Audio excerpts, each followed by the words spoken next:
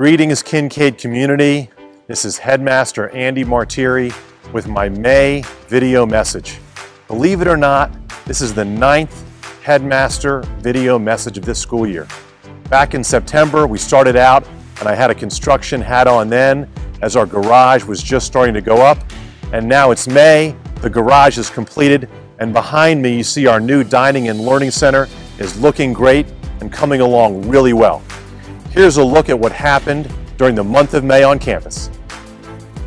If you have not heard by now, this month for the first time we were able to call everyone who donated to Kinkaid this year, over 2,400 people, and say thank you through the Kinkaid Thank You Project. As we say time and time again, the support of our generous donor community means the world to our students, faculty, and staff.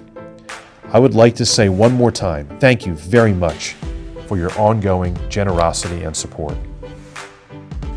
Our fourth graders put on quite the show as they wrapped the year up with their Living History Museum. If you did not get a chance to stop by the lower school, each student put on a wonderful presentation of America's most historical figures. From astronauts to legendary athletes, you name it, it was there. Thank you to all of the parents who took time out of their busy schedules to drop by and see a fantastic display of knowledge from some of our youngest Falcons. After recognizing our highly talented students for arts performances and athletic achievements throughout the year, we finally had a chance to award those who had worked the hardest in the classroom. So many students who show passions for various subjects were recognized last week during honor days for all three divisions. We congratulate them on their hard work and encourage them as they pursue their endeavors next school year. Upper school athletics ended the year in a big way. For the second year in a row, the athletic department was awarded the SPC Athletic Directors Cup. The award is given annually to the school with the best overall success in SPC athletics. Based on the order of SPC tournament finishes for each of our 23 varsity sports, our girls program finished first, our boys program finished second, and for co ed schools, we finished first overall. What an amazing year for them, and congratulations to our student athletes and our coaches. We have seven faculty and staff members with 10 or more years of service to Kinkaid who are either retiring or moving on to other exciting opportunities.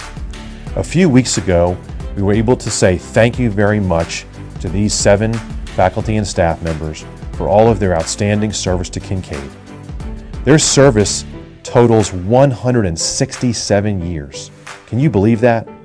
It's truly bittersweet, but we appreciate their time and dedication, and we wish them the best of luck going forward.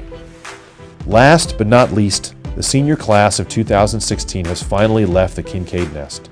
These bright and talented students graduated last weekend and enjoyed an, an inspiring message from Joe Ehrmann as they received their diplomas. Mr. Ehrmann and his wife founded Building Men and Women for Others, an organization that addresses many societal challenges, including violence, child advocacy, and much more. I'm proud to say that our graduates will be continuing their education at some of the most prominent institutions throughout our state, across our nation, and even one in Canada. Whether it's in the arts, athletics, or academics, I know they are prepared for all that's ahead of them. Let's continue to wish them the best of luck as they move forward, and we can't wait to see all of the amazing things they will accomplish in the years to come. In closing, let me thank our students, parents, faculty and staff, and alumni for all your support during what has been a truly outstanding 2015-16 school year. I wish everyone a wonderful summer, and when you come back for school on August 22nd, our new Dining and Learning Center will be up and running and ready for you, students. My last piece of advice for the summer is don't forget your summer reading. Thanks, everybody, and see you in August.